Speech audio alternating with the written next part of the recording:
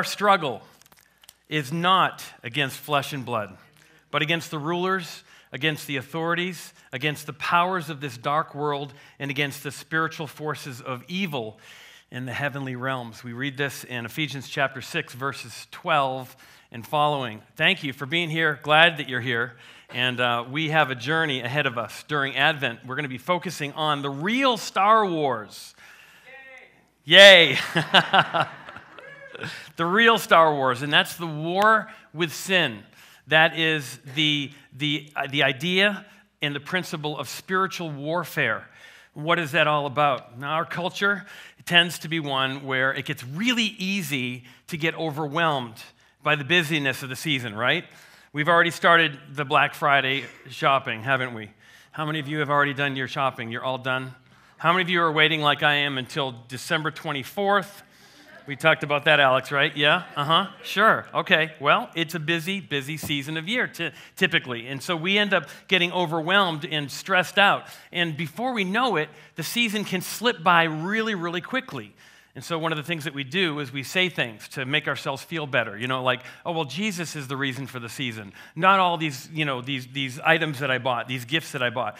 Jesus is the reason for the season. But what does that mean? Really? Jesus is the reason for the season. What is that all about?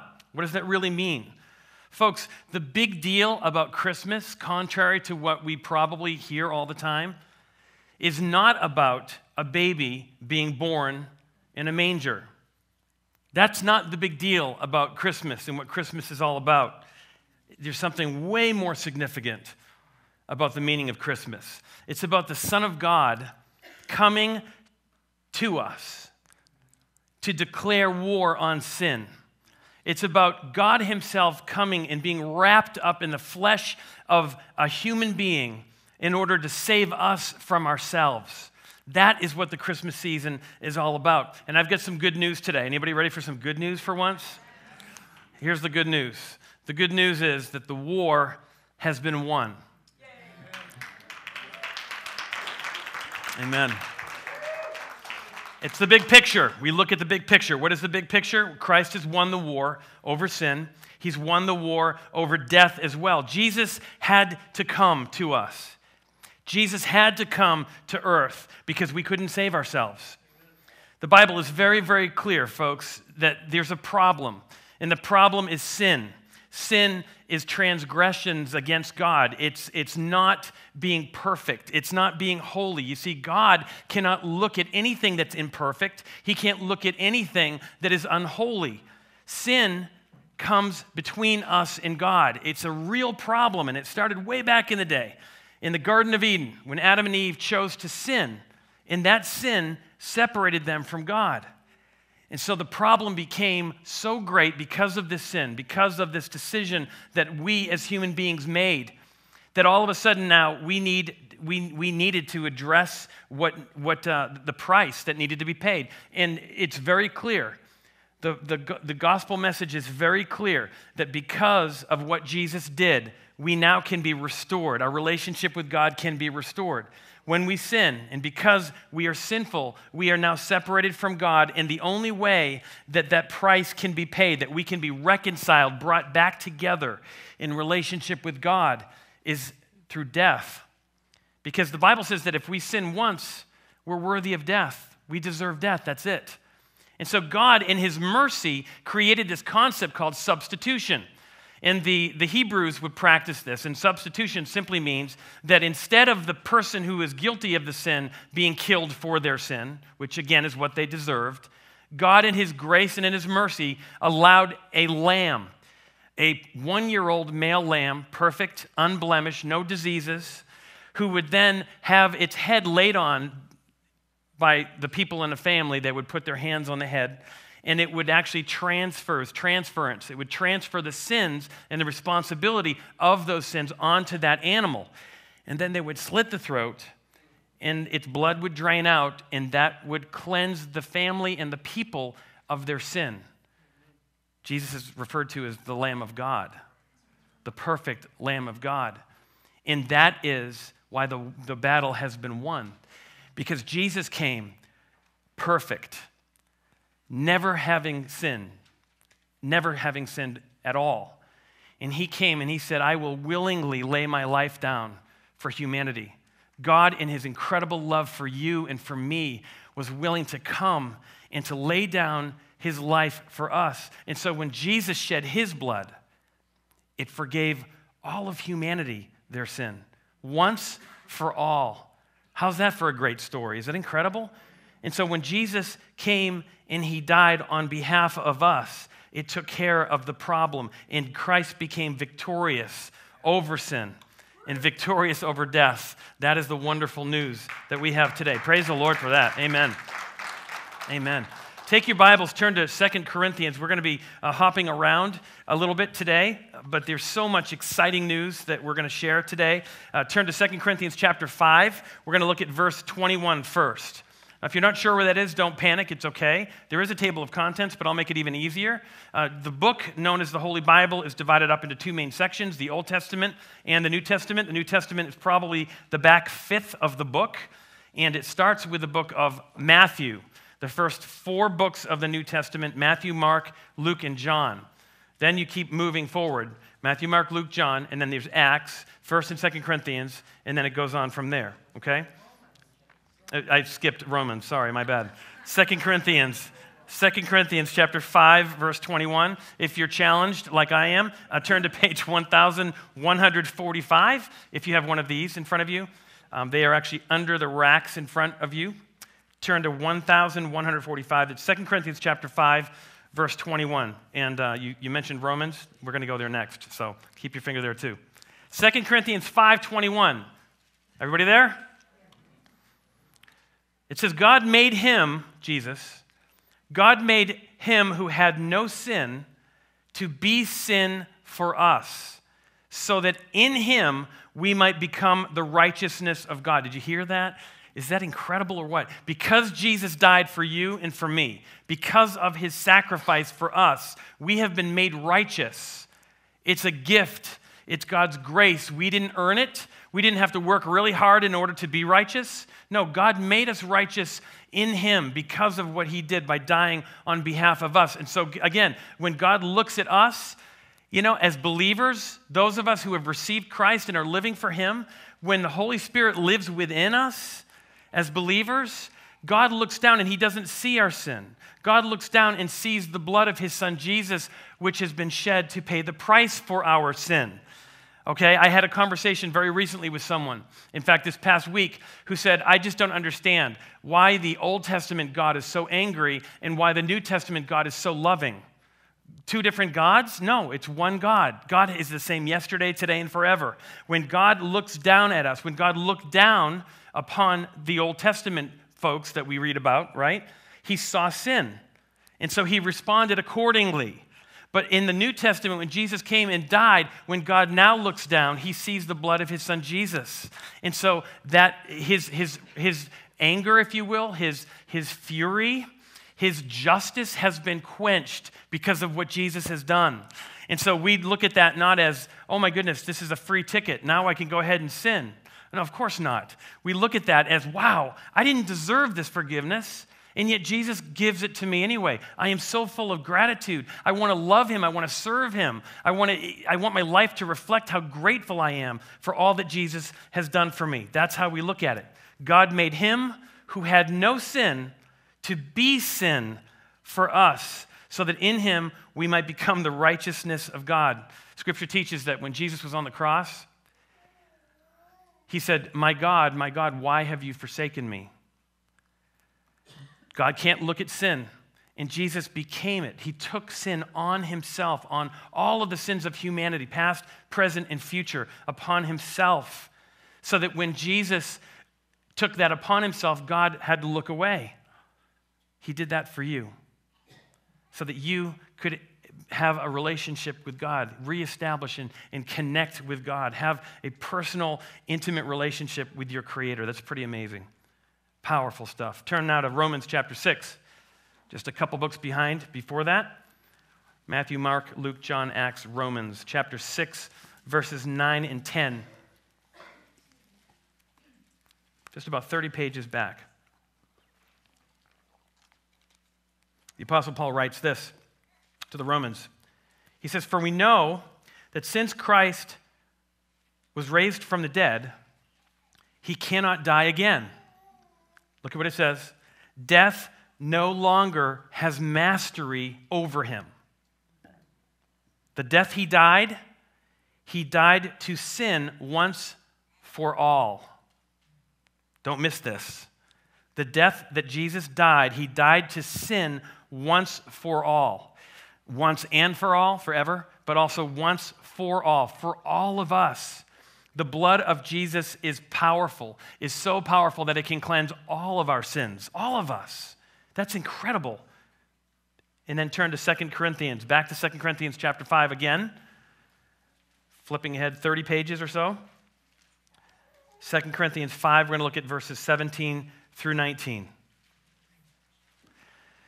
Therefore, it says, if anyone is in Christ, he is a what?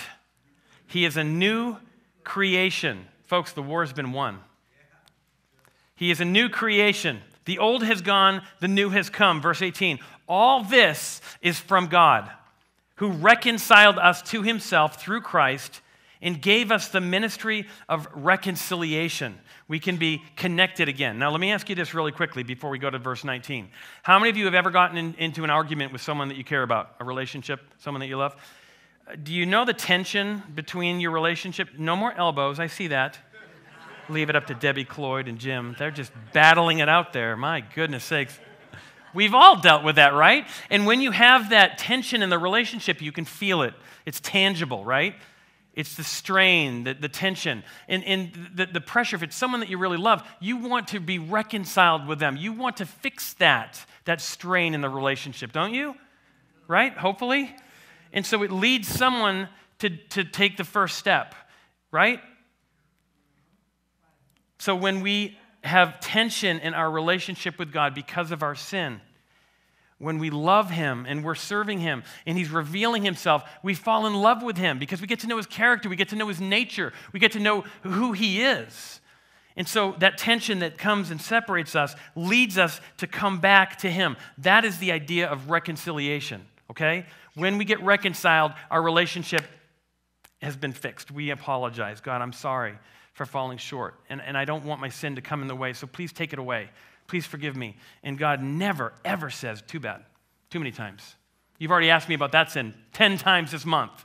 Nope, not going to happen. Nope. And he's passive aggressive toward us. Uh uh-uh. uh Nope.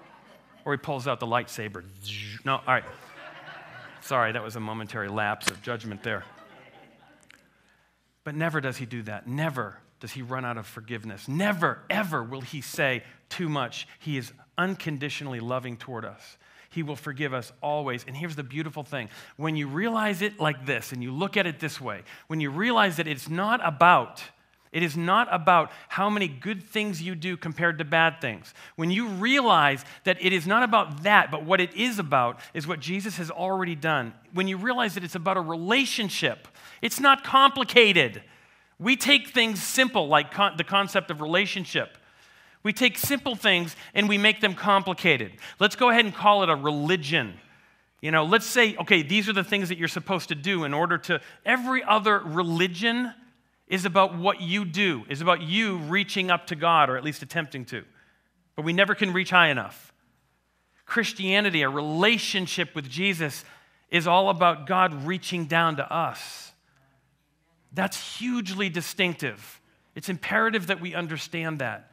Because of what Jesus did, we can be reconciled with God. In Ephesians chapter 4 verses 22 through 24, we read to put off our old self.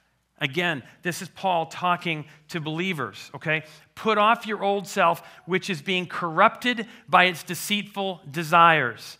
To be made and be made new, he says, in the attitude of your minds be made new in the attitude of your minds and put on the new self. Put on the new self, which is created to be like God in true righteousness and holiness. That's amazing. But we have the new self. Because of what Jesus did, we have the new self. Okay, so here's the first bit of good news, okay? The war has been won. Okay? So, this whole thing about Star Wars, there, there ain't no war. Okay? The war has been won. Here's the second point, and that relates to how we have applied these truths to our personal lives. We live like prisoners of war. So many of us live as if we are imprisoned by the enemy. That's our response to the good news of the gospel? What? True story there was a Japanese soldier who continued fighting World War II for 29 years after the war was over. True story. He just had no idea that the war was over. So he continued to fight after the Japanese surrendered. He was sent to the Philippines by his superiors. He was given very strict orders to keep fighting no matter what happens. Until we come back to get you, you keep fighting. Do not, do not kill yourself and do not surrender to the enemy. So this poor, lone soldier continued to fight World War II for 29 years after the war was over. I submit that many of us do the same thing spiritually. Many of us live like we're still at war, even though the war is already over. There's this disconnect between what we believe and how we live.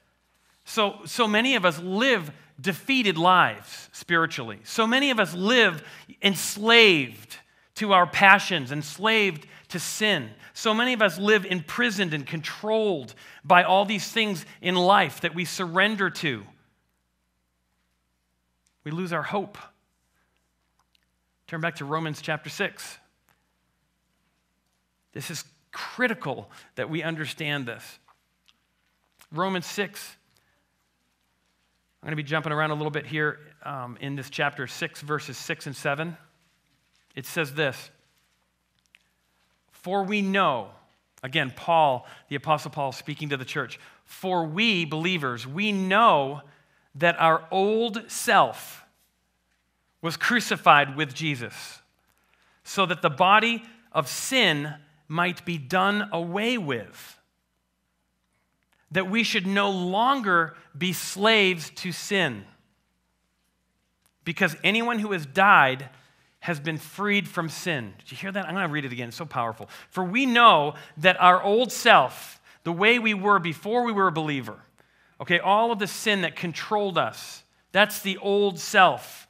It was crucified with Jesus. When Jesus died on the cross, remember, he died on the cross for our sins, right? You following me? He died on the cross for our sins. And so when Jesus, in his death, in his crucifixion, becomes personal for us when we receive that sacrifice. Okay, our old self, our old sin nature that's been controlled and is controlled by, um, by, by the enemy, okay, is crucified with Jesus, is crucified as well. And he says in verse 7 again, because anyone who has died has been freed from sin. Verse 11, he goes on, he says, in the same way, he says, Count yourselves dead to sin, but alive in Christ Jesus. Verse 14, For sin shall no longer be your master, because you are not under the law, but under grace. And the whole point there is, according to the law, I'm, I'm, I'm hopeless. I keep breaking the law. I keep sinning. I keep falling on my face. But we are no longer under the law as believers in Christ. We are under His grace. Is that incredible or what? Because of God's grace, we've been freed from the control of sin, and we are now freed to be the ambassadors for Jesus that He calls us to be. That is the best news you can possibly imagine. Praise God for this. Verse 22 he says, But now that you've been set free from sin and have become slaves to God, the benefit you reap leads to holiness and the result is eternal life. We have eternity to look forward to, folks. But one of the things that I realized growing up is that they emphasized eternity and they de emphasized, but what about the rest of my life? Okay, fine. So for eternal happiness, I have to sacrifice pleasure here on earth. I have to be bored to death. I have to do things I don't want to do in order to be with God for all eternity. Whoop de doo. But that's not true because God came to give us abundant life. And that includes life here. Folks, when we are living for Jesus, it is the epitome of a good life. And I don't mean good deeds life. I mean life is experienced to the fullest. We get to experience peace that doesn't make sense to anyone else. We get to experience real, true joy and hope. We get to experience a sense of purpose and fulfillment that we can't get anywhere else, any other method, through any other means. That's true hope. That's true excitement. That's what it's about. Folks, we are not prisoners of war. Need I remind you? We are not prisoners of war, so let's stop living like we are prisoners of war. God is sending us. Think of it this way He is sending us like special forces. We are His special forces to go behind enemy lines, to go into the enemy's territory, to bring the good news that the war has been won. And that, that, that news is the gospel. That's what God has called us to do, okay? So the war's been won. We live like prisoners of war, no more.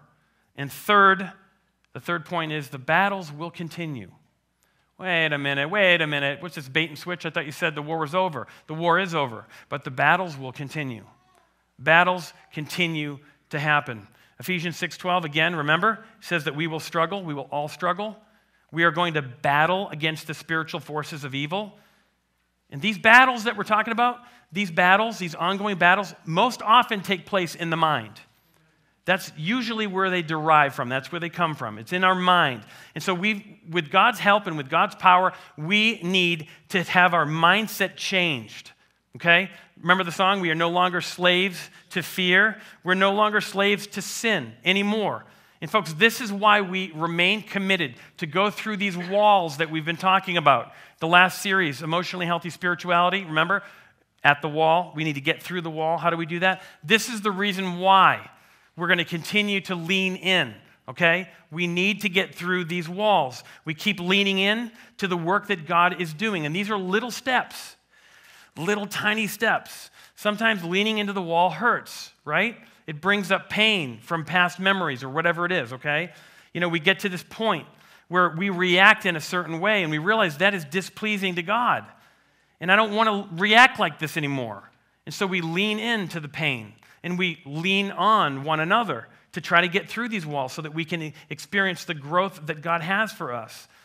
These baby steps that we take along this journey are necessary. And they are deliberate, they are intentional choices that we need to make. Ouch, that hurt. And I want to respond differently. That hurt. That situation hurts, whatever. That person responded in this way. And yet I get angry and I respond in, in, in anger and in, in, in a vicious way, or I try to, to hurt them back or whatever. That's not like Jesus. That's not like God. I don't want to be that way. And so instead of justifying it by saying, well, they deserved it, we take responsibility for our own choices, right? Each of us is responsible to make continual choices, to make decisions. Is this the right way to respond to this situation or not? We need to be honest with ourselves, okay? It's crucial. One of the choices that we need to make sometimes is, is to forgive. Is that hard for anybody else? Somebody hurts you, come on, let's be real, right? There's a, there's a war right there, right? Somebody does something, oh, no, you didn't. and we're compelled to respond in kind or worse. That's how wars start, right? Somebody, you know, does a spitball at you and you throw a rock at them. So they pull out a handgun, you pull out a bazooka or whatever, right? Then the next person drops a nuclear bomb right over your head. You know what I mean? It's just tit for tat. It goes back and forth, you know? That's what it's about. No, it's not what it's about at all. We have to choose to forgive. This is one of those examples. If we can show grace to one another in forgiveness, think about it. How many of you have been forgiven for a lot? So, why is it so hard for us? You know, why is it so difficult for us? This is a great example of it. We have to do it, though. We have to. Because as our minds are thinking about what God has done through Jesus for us, that gratitude leads us to do what's right. And we realize that I've been forgiven a lot, so who am I to, hold, to withhold forgiveness to some, from somebody else or to somebody else? Uh, you know, we don't have a right to do that. God is working in this, in this area, and I think this is a, a stronghold. I really do. And, and that, it's a fancy word. Basically, I think this is, this is bondage. This is a, a very difficult wall that many of us has, have built up. We are just unforgiving sometimes. You know, I know that um, God, as He's working in our, in our family, I know He's been doing some incredible things. Mike Amberman was talking about how God is helping him deal with, with, a, with a certain situation uh, of, of forgiveness. I mean, this is, this is awesome. Um, I didn't talk to Tom, um, but I think he's going to be okay. If not, he's my stepdad, so he can beat me up later. But anyway, I know God's been working in this area in your life towards some, uh, towards some other relatives you know, forgiveness. God is, is doing some great work. God's doing some great work in my own life. I have a certain relative as well that, that I really struggle with. And so, uh, you know, uh, just yesterday I reached out to this person and I, and I just said, hey, we should get together for breakfast. And that was very difficult for me because uh, I, I, just uh, think that it should be kind of that person's responsibility. You know what I'm saying? And so I don't want anything to come between me and God. And I, that's my prayer for all of us is that we are all willing to be honest with ourselves. You know what? The battle is to do what's right. The battle is to surrender our hearts to Jesus. Uh, the battle, the ongoing daily battle, is to say no to temptation and also to remember that we don't have to give in because the power of the Holy Spirit, as a believer, is living inside of each of us. Okay? And so it's probably time for us to start depending on His power rather than our own willpower. Because if your willpower is anything like mine, you ain't got none. You know what I'm saying? In certain ways. And so that's imperative that we understand that, and it's imperative that we understand that the battles will continue. Here's another important point. Flip over to James uh, chapter 1. Great reminder. This is page 1196. So if you're still in Second Corinthians, you're going to be skipping ahead about 50 pages or so.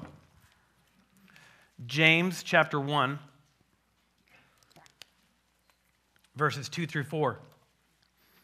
Speaking of the battles that continue, he says, Consider it pure joy, my brothers and sisters, whenever you face trials of many kinds, because you know that the testing of your faith develops perseverance, the ability to keep going, to keep going in spite of our circumstances. Perseverance must finish its work so that you may be mature and complete, not lacking anything. Ah, so the battles will continue for more than one reason. Not just because we're human, because we get the butt end of the deal sometimes, right? But the battles will continue often because it helps us grow. The struggle helps us to grow stronger. Oh, but I can't be good enough. Oh, that's just the way I am. I was born like this. Can I remind you that the war has been won? The war has been won. The war with sin has been won already. And so we can't use these excuses anymore. We can't. It's just the way I'm wired. When we justify our own sinful attitudes and behavior, we can't justify it anymore because the war has been won already. Sin no longer has power over us because of what Christ has done on our behalf. Each one of us is responsible to make our own choices. Each one of us is responsible to make continual choices again and again. Are we going to make the right choice every time? no. But what do we do the moment we become aware that we've made the wrong choice? We confess it, right? When we make the wrong choice and we sin, guess what sin does? Hello, right? There's the distance in our relationship with God. And because we have a growing relationship with God, the one that we love, we feel that distance and that tension. We want to make it right. We, it, we make you know, efforts at reconciliation. We repent. We go and say, Jesus, forgive me. God, forgive me. I'm sorry. I didn't want to mess up, but I did. And I, and I accept that responsibility. Please forgive me. And God takes us back every time. And that reconciliation happens once again. All right? That's beautiful news, always. Okay? Now, look, I know that this is, this is a difficult thing. It's very difficult. But we have to make new pathways. We've talked about this, the last series especially, right? when we do enough, you know, when we do the same thing enough times, it becomes rote, it becomes a habit, right? When somebody hurts us, we explode in anger. You do that enough, and it's, you don't even see the difference. You don't even realize the moment that the hurt you feel switches over to anger. It's, it's almost instantaneous. And so you think, oh, I don't, I don't ever get hurt. I just get angry. No, you get hurt and you respond in anger. It's a pathway that's been developed in our lives, right? The same thing. Some people develop other kinds of pathways. When you're hungry, you go and get some food. That's a pathway, right? That your body has created, okay? From your mind to your stomach or your hand, and you overindulge in turkey dinner. Do you understand about, about the pathways? And so our responsibility is that we are in partnership with God. The Holy Spirit lives within believers and enables us to do things that are, that are supernatural, okay, that are not normal. And so, with God's help, we can develop new pathways of responding. And I've said this before, but you know, when someone hurts us, there is that gap.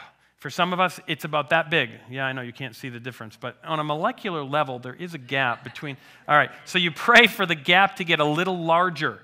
And the gap ends up translating to time, just enough time to be aware that I've been hurt and aware that I have a choice of how to respond. Do I snap my husband's head off? Do I yell and scream at my wife? Do I, uh, you know, blow up on my kids? Well, hopefully not, because God is expanding the gap. God is giving you some more time, and you develop a new pathway, and you do it once, and then you do it again, and you keep doing it again and again. And the analogy I've used before is you got a big, huge, wide open, green, tall grass field. Okay, the grass about a foot tall. And there's this well worn pathway, okay, that everybody seems to take. Okay, the green grass is your mind or whatever you want to think, your life, okay? And so you're creating a new pathway. Rather than the old pathway of exploding in anger, you're going to cut across the field Okay, you're going to walk across the field. Now, once you get to the other side, you look back and you can see where you went. But if you wait a week, you can't see where you were because the grass heals and regrows and does whatever it does, right? So you got to keep walking the same path again and again and again until it becomes a new pathway. It's not easy. In fact, I'll even say it's virtually impossible to do it on your own, especially when we're talking about eternity, life and death, spiritual stuff like this. But we don't have to be alone do we? We don't have to be alone on this journey at all. God gives us each other. And so we pray, God, help me to create these new pathways, these new life patterns in my, in my life. Remember, folks, sin shall not be your master because you are not under the law, but under grace. If it was, if it was based on the law, we would be in trouble. But it's not. It's based on the grace of God through Jesus. He embraces us, He accepts us, He takes us back. Jesus has won the war, but God, eh, Jesus has given us free will. We have free will. We can choose to make even wrong decisions. You see, He doesn't force us to serve Him. You know, He doesn't do, you know, a force serve. You shall serve me. You know, a Jedi mind trick. No, He doesn't do that.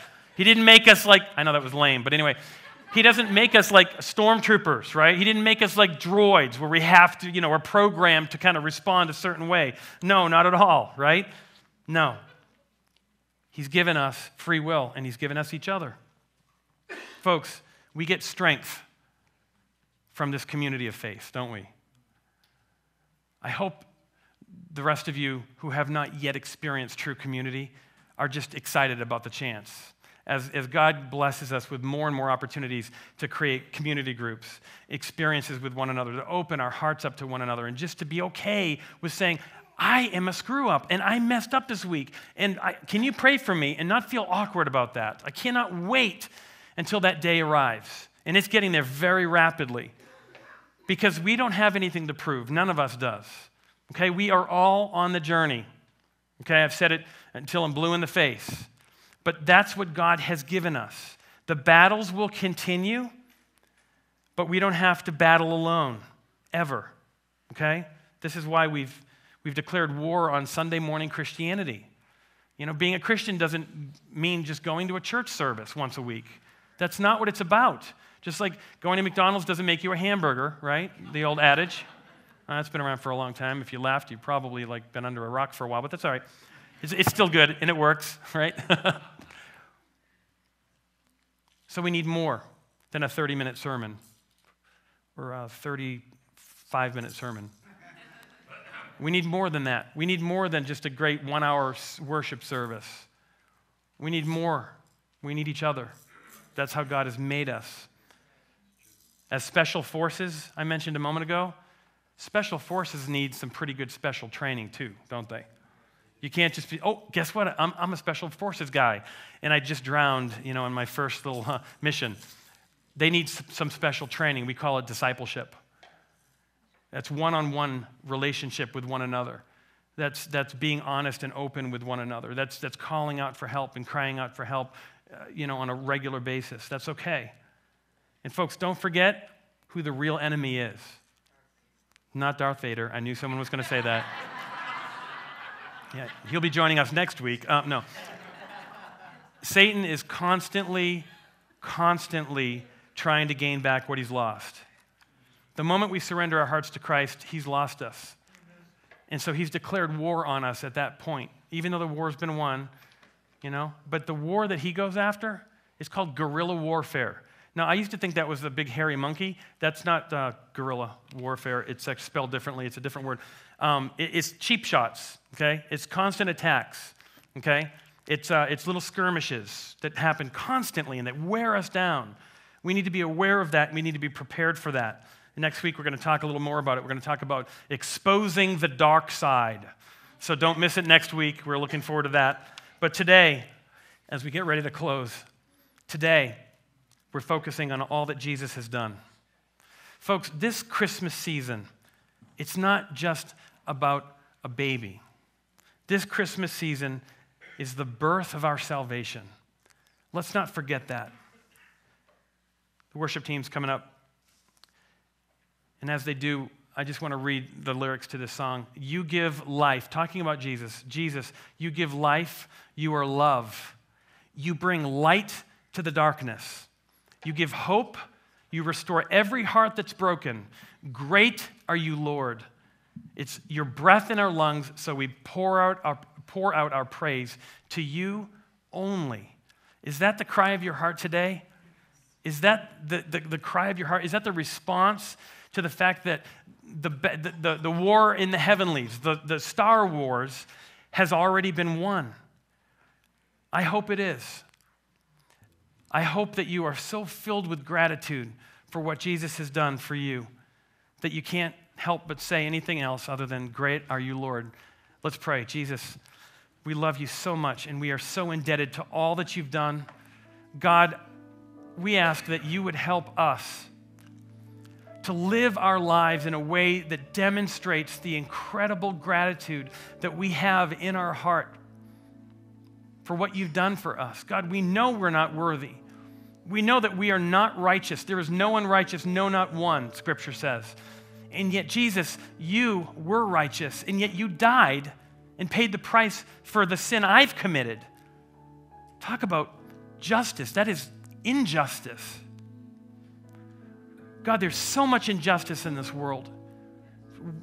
As we watch the news and we hear these terrible stories, of our brothers and sisters in Chicago who are mourning the loss of one of their own. We need to be comforted, God, but we thank you that you are the ultimate reconciler. You are the ultimate God who restores relationships with one another, whether it's black or white or green or blue, whatever. There is no color, there was no different difference in race. As far as you're concerned, God, there's no Jew, no Gentile. The list goes on. But God, we thank you supremely that you have reconciled us with our Heavenly Father. And we thank you, God, for making us righteous. God, this season we pray that we would pour out our hearts to you we would be so filled with gratitude for what you've done, God, that it would, it would power all of our decisions, all of our choices, God. That it would empower all of our actions. May we represent you well, Jesus. We give you the glory and the honor that you're due, Lord. Amen.